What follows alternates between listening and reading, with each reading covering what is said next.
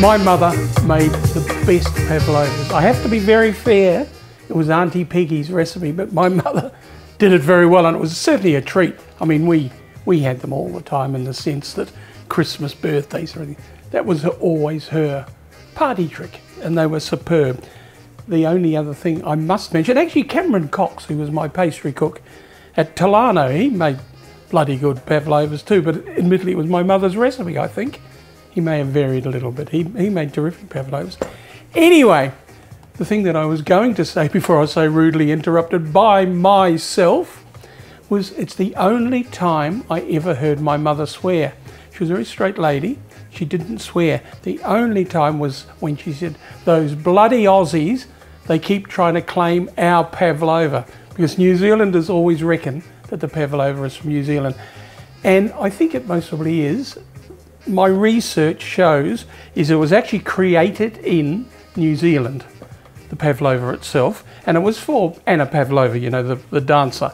So it was named after, or it wasn't named after her, it was created for her, but it was named in Australia. It wasn't called a pavlova in New Zealand, it was named in Australia. That's my theory, and I'm sticking to it. Anyway, the point about it is the reason that I make them every now and then at home, and I make these individual ones because they're easy, is because I make a lot of mayonnaise and of course I've always got egg whites. The other thing that my mother said was that egg whites that have been in the freezer are fine. Sometimes they're even better, but they have to be a good egg. But they're fine if they've been frozen. So keep that in mind so you can stick them, when you make your mayonnaise, you can stick them in the freezer. And I've got three large eggs there. The other trick, which is terribly important, terribly important, is everything has to be spotlessly clean and dry. And the reason being, even the smallest drop of water will stuff it up. So keep that in mind. Now, I've got three egg whites there, and I'm going to add a pinch of salt. And then what I'm going to do is whiz that up. So about five minutes, just to fluff it up a bit, all right?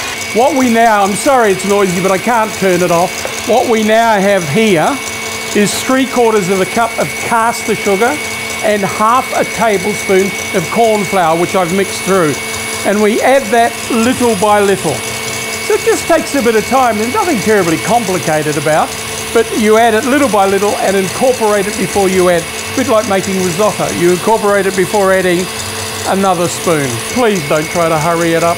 And about halfway through adding the sugar, you add three quarters a tablespoon of white vinegar. Just plain white vinegar, not, not white wine, just plain ordinary white vinegar. So that goes in, as I said, about halfway through the sugar. Now, the other trick from mum, which is quite important, you just grab a little bit between your finger and you just feel it like that.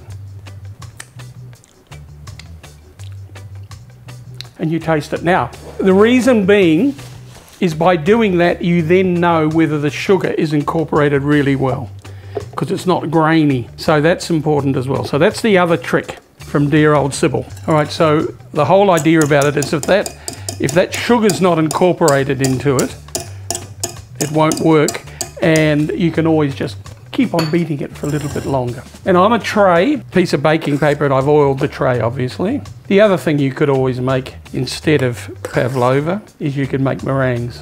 But I love pavlova, really do. Now I'm making three I could make some slightly larger ones, but I'm making three and there's a reason. I'm also going to do an Eton mess using pavlova. Now, Eton mess is normally made with meringue, but it works beautifully with pavlova.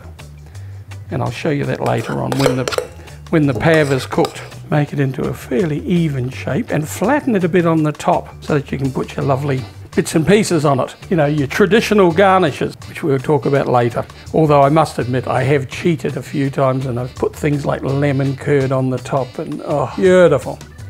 But there is a traditional garnish, according to a New Zealander anyway. So neaten it up a little bit. I like it a bit rustic, I have to be honest. I don't want it all neat and tidy. And I've seen people pipe them and I've seen people put them in, in sort of burger rounds so that they're even.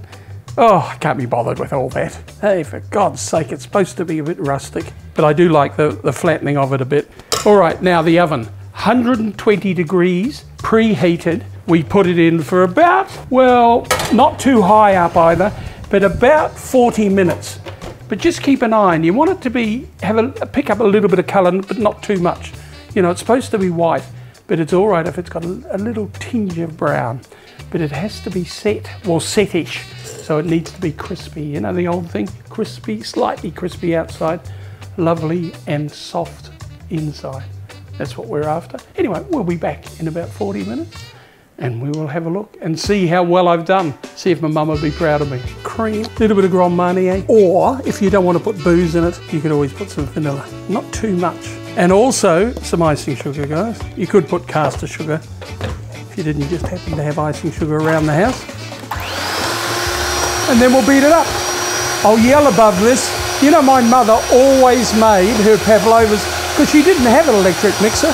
She made them by hand.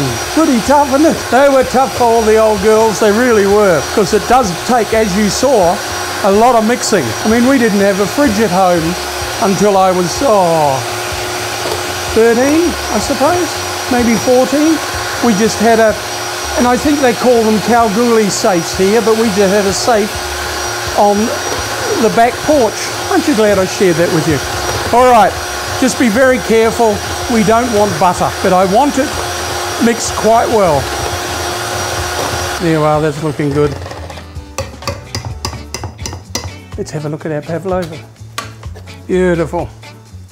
Cream, cream, cream, cream. Fruit.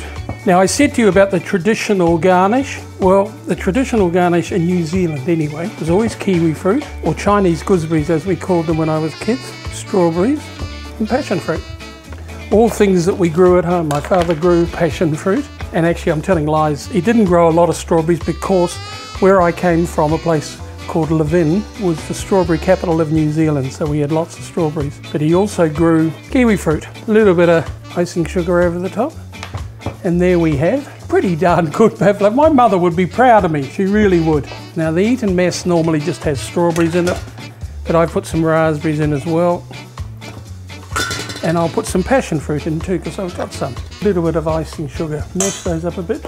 And when I say mash them up, only a little bit. I still want some texture. And then we add pavlova, but don't break it up anymore. And to that we then add our whipped cream. This is enough for two guys, a glass for it to go in. Now you did hear me say before that this is traditionally made with some meringue rather than the pavlova. So you could use bought meringues or homemade meringues or whatever you want. Looking good now. What goes with it? Something sweet. So what I have here, a Botrytis Semillon from Cat Amongst the Pigeons. A glass of that lovely sweet wine to go with my pavlova and my Eton mess. And guys, that is good.